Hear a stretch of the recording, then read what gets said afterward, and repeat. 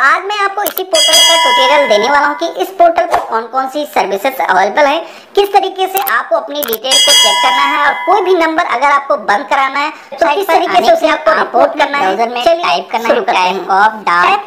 Telecom dot G O V dot in website पर आएँगे तो वेबसाइट का इंटरफेस आपके सामने कुछ इस तरीके का आएगा। यहाँ पर आप अपने मोबाइल नंबर को फिल करके डिटेल को चेक कर सकते हैं। तो यहाँ पर डिटेल को आपको कैसे चेक करना है, इसको बताने से पहले मैं आपको बता देता हूँ कि इस पोर्टल पर कौन कौन सी आपको फैसिलिटी मिलने वाली है। इसके लिए पेज में आपको नीचे की तरफ़ आना है। नीचे की तरफ़ आएँगे तो यहाँ पर आप देख सकते हैं telecom analytic for fraud management and consumer protection के लिए ये पोर्टल लाया गया है। यहाँ पर इस पोर्टल पर आप खुद से ही तो डिटेल को चेक ही कर सकते हैं कि आपके नेम से कितने सिम कार्ड चल रहे हैं।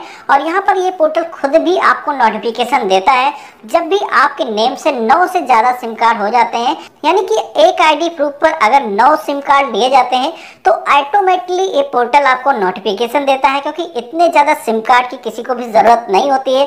आपका हो गया, आपके फैमिली मेंबर दो तीन सिम कार्ड जायज़ हैं, सभी लोग इतने ही सिम कार्ड लेते हैं। जो भी यूज़र है नोटिफिकेशन मिलने के बाद में इस पोर्टल पर आकर के यहाँ पर सभी डिटेल को देख सकता है। अगर कोई भी नंबर उसको लगता है ये मेरा नहीं है तो यहाँ पर रिपोर्ट करने का ऑप्शन मिलता है। वो लॉगिन करके रिपोर्ट भी कर सकता है।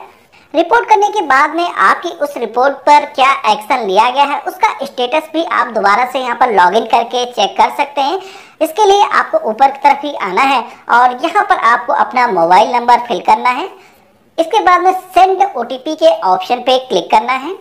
तो अब आपके मोबाइल फ़ोन पर वेरिफिकेशन के लिए एक वन टाइम पासवर्ड सेंड किया गया है, जिसको आपको यहाँ पर फिल कर लेना है और वैलिडेट के ऑप्शन पे क्लिक कर देना है।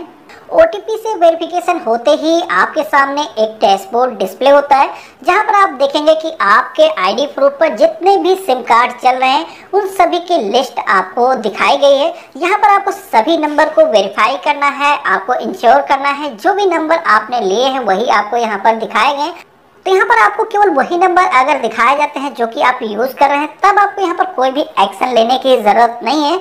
अगर कोई भी नंबर ऐसा आपको यहाँ पर दिखाई दे रहा है, जो आपने नहीं लिया है, या फिर आपकी जान में वो नंबर नहीं है, या फिर आपने ही वो नंबर पहले लिया था और अब उस नंबर को आप इस्तेमाल नहीं कर रहे हैं, फिर भी यहाँ पर वो नंबर आपका शो हो रहा है। तो यहाँ पर आपको रिपोर्ट करने का ऑप्शन दिया गया है। यहाँ पर आप रिपोर्ट कर सकते हैं। पर किसी भी मोबाइल नंबर को रिपोर्ट करने के लिए उस मोबाइल नंबर के आगे जो टिक करने का ऑप्शन दिया गया है, इस पर आपको क्लिक करके सेलेक्ट करना है।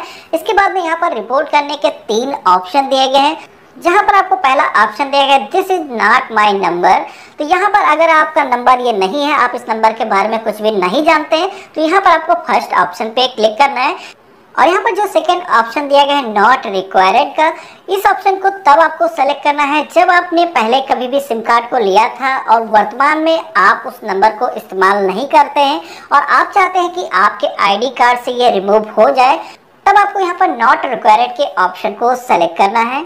तो यहाँ पर जो भी रीजन है, उसको सेलेक्ट करने के बाद में इस नंबर से आपका कोई भी लेना देना नहीं है रिपोर्ट करने के लिए। यहाँ पर रिपोर्ट के ऑप्शन पे ही क्लिक कर देना है। रिपोर्ट के ऑप्शन पे क्लिक करेंगे तो आप देखेंगे कि आपकी जो रिक्वेस्ट है, दर्ज हो चुकी है। आपके सामने आपका कंप्लेन नंबर जनरेट होकर के आ चुका है। यहाँ पर जो टिकट नंबर आपको दिया गया है, इस टिकट नंबर को आपको कहीं पर भी नोट करके रख लेना है। अब आपको कुछ भी करने की ज़रूरत नहीं है। आपने अपनी तरफ़ से गवर्नमेंट को ये इन्फॉर्म कर दिया है कि ये मेरा नंबर नहीं है। अब ट्राई की तरफ़ से आपकी जो कंप्लेंट है टेलीकॉम ऑपरेटर जिस भी कंपनी का सिम होगा, उसके पास में भेजी जाएगी। और उस पर जो भी एक्शन लेने की ज़रूरत होगी, उनकी तरफ़ से एक्शन लिया जाएगा। ट्रैकिंग नंबर से कभी भी आपको ट्रैक करना हो कि आपकी एप्लीकेशन का क्या स्टेटस है गवर्नमेंट की तरफ़ से क्या एक्शन लिया गया है। तो यहाँ पर ट्रैक का जो ऑप्शन दिया गया है इसमें आ करके आपको यहाँ पर जो ट्रैकिंग नंबर अभी दिया गया था, उसे ही फिल कर देना है और ट्रैक के ऑप्शन पे क्लिक करना है। क्लिक करेंगे आप यहाँ पर देखेंगे कि वर्तमान में आपका जो भी ट्रैकिंग स्टेटस होगा डिस्प्ले हो जाएगा। जैसा कि मैंने अभी इसको फिल किया है तो आप यहाँ पर देखेंगे। अभी हमारी जो एप्लीकेशन है पेंडिंग